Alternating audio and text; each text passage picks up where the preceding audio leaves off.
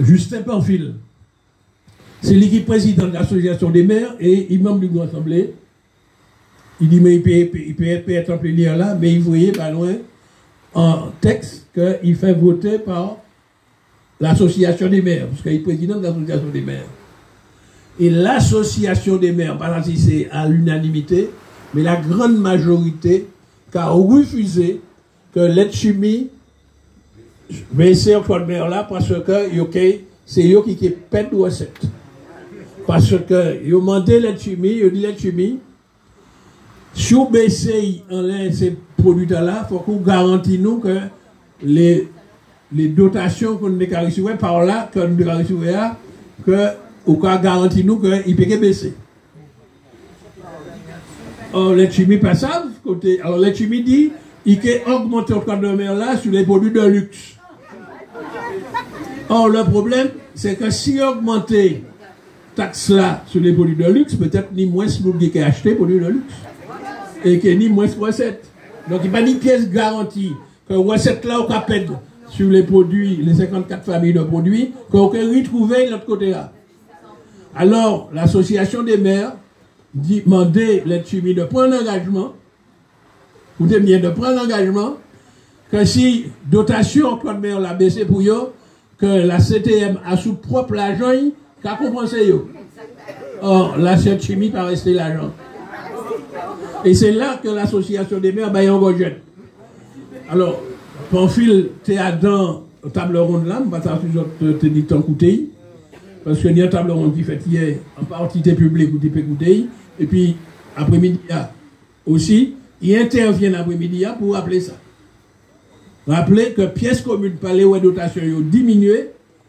Donc, si les chimie les baisse sur le là, mais il faut qu'il engage quoi à compenser et puis les fonds de la région. Les fonds de la CTM.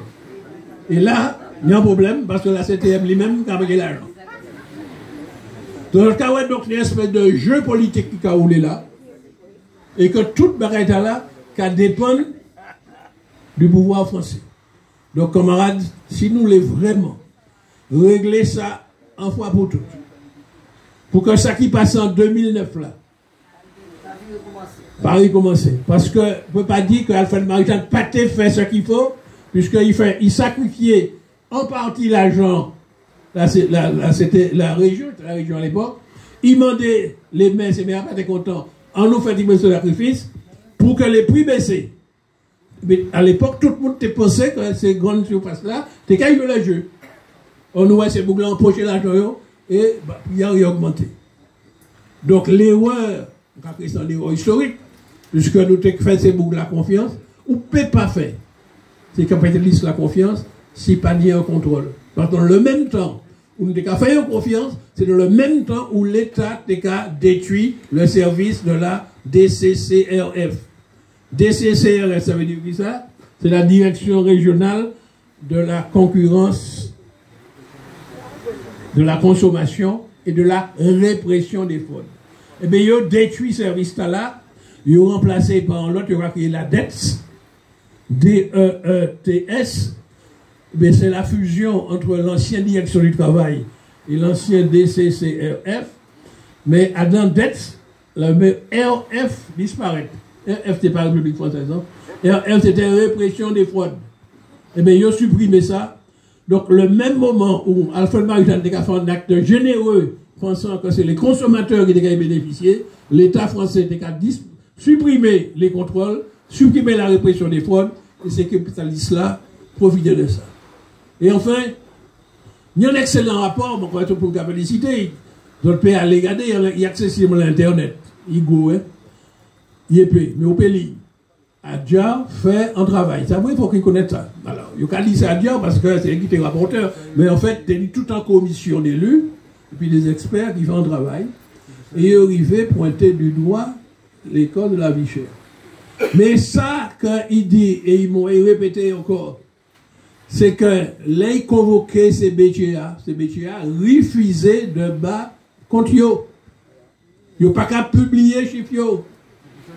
Donc, vous pas savent exactement comment ils ont calculer pour Et ça va permettre, comme dit, euh, en obscurité, ça, ben là opaque, ça peut permettre de dire, si prix à cher, c'est parce que nous quoi de mer. C'est pour qu'il m'a amené en combat. Nous amené en combat. Pour que les commerçants, sur les prix qu'ils affichés, les étiquettes qu'ils affichées, que vous mettez montant hors taxe là, vous mettez montant TVA, ça a fait sur les, sur les factures, mais vous ajoutez montant octroi de mer là, pour que commence, consommateurs savent qui ça octroi de mer là qu'a représenté. Or, comme les consommateurs là pas savent, mais comme dit, c'est octroi de mer là qui cher. Or, ça qui a augmenté. Selon nous, si ça a créé la marge, dit bénéfice là, que ces capitalistes là qui prennent les ça.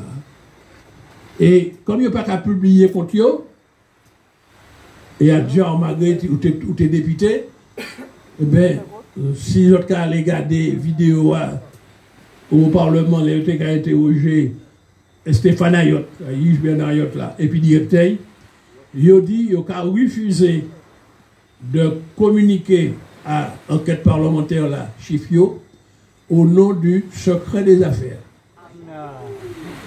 Parce qu'il y a un concurrent, donc pour que les concurrents par connaître les affaires. Bouglac a dit ça. Or, justement, l'Europe a, protégé le secret des affaires. Surtout lorsque la concurrence n'est pas très nombreuse.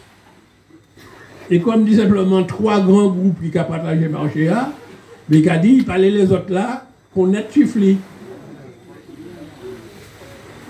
Donc, notre cas bien ouais qu'il y a une complicité entre l'État et les